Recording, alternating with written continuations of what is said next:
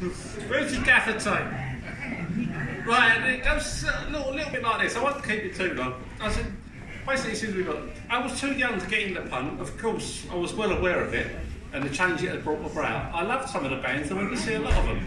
The Clash, the Damned, the Buzzcocks, who looked more mod than punk anyway. And, and that fellow from the Caravan site, the three-piece band called The Jam, who clearly was mod, well he was anyway. We loved punk rock bands, but it wasn't really a scene you could call your own. Not that we were even looking for one.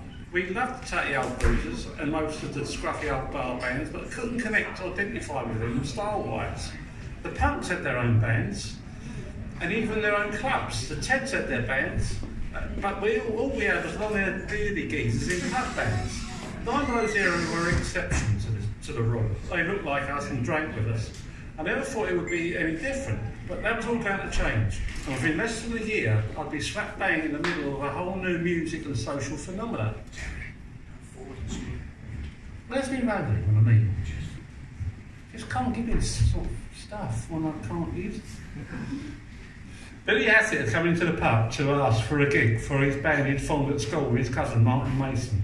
Billy was obviously a mod and was wearing parka with authentic US Army stripes and a little US, a little yellow flame-headed Esso man keychain. Nods of recognition were nodded, hands were shook, light hours were pulled, and a lifelong friendship was struck. Billy told us of his, of his band that was called the Detours at the time, homage to the early Who, and had yet to play live, although they were fully rehearsed and match fit. I introduced Bill to the Beckett, some of the Beckett's no-nonsense landlords, and he booked them for the following week. No demo, no demo cassette required and no fee offered. Over a few more drinks, I found out Bill lived in one of the tower blocks in Deptford, and his lead guitar player was a moody punk type called Chris Pope. They had a drummer called Paul Halpin, but by the sound of it, he wasn't intending to be staying around for too long.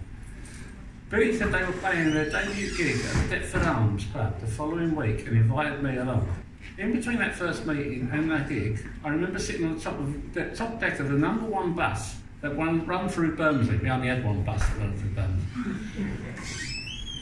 when Bill Bill mentioned the new name of the Chords was moved. Like all band names, when, when you hear them for the first time, they don't instantly click, and to these ears, the Chords was no exception. However, it stuck, and sure enough, the band played their first gig under the new identity, the Chords. I know it's a cliche,